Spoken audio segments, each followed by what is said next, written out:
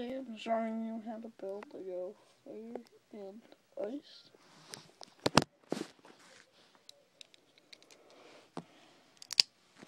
Okay, so first, I'll start off by take one of these pieces and one of these curved edge pieces and one of these.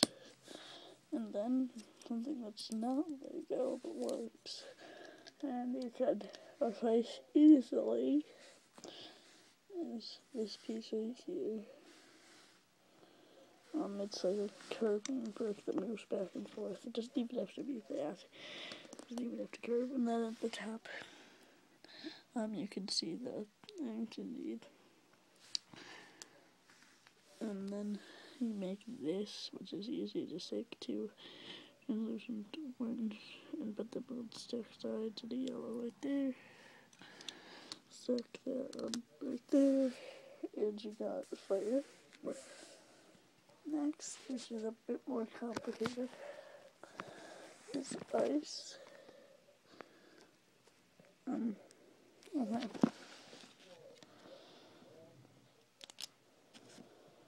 Okay. So you're gonna wanna just take another one of those pieces just in white, put some gray, stack that up and then do that, and then stuff like that. And then you want to take these pieces and connect them right the top, no, at the bottom.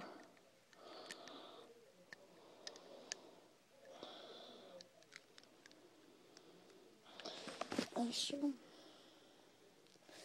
On top, just put that there.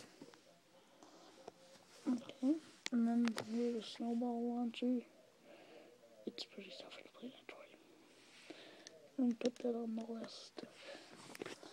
So that's the fire nice. And you guys are probably wondering, what is all this stuff for that I've been making? Well, take your penguin wrap, put it on top of that. That's the ice thing. Take the mechanical bowl, put the fire in front of it, and put cyborg on the bowl. It's a set I'm working on. Okay. So like, comment, subscribe, and see you.